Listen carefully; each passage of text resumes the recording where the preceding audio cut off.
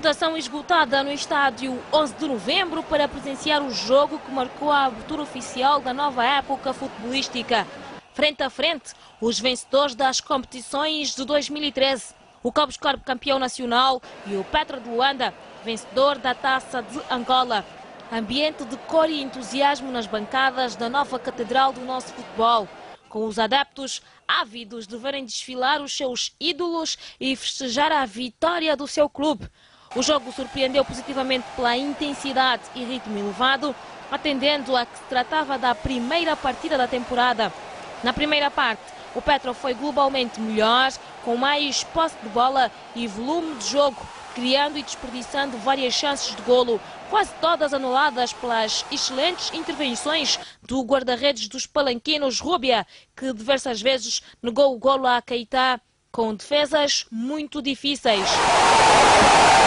Ainda na primeira parte, a saída por lesão de Dax, aparentemente uma contrariedade para Antranik, revelou-se num dos momentos decisivos da partida, merecer da estreia de Mputo, que chegou, viu e venceu. Os petrolíferos adiantaram-se no marcador com um golo de Gilberto aos 40 minutos, num remate à entrada da área. Quatro minutos depois, o camaronês Meyongze, sempre oportuno, igualou a partida. Ao intervalo, o empate a um golo penalizava a falta de eficácia da equipa do Catetão. No começo, a atuada de jogo manteve-se com o maior domínio dos tricolores até ao segundo golo do Cabos Corpo.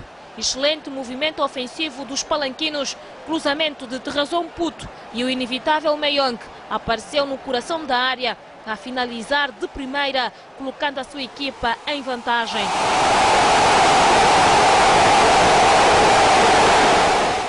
Ainda longe da melhor forma física, Mputu confirmou a sua elevada qualidade de passe técnica e visão de jogo e abrilhantou a estreia com a marcação do terceiro golo.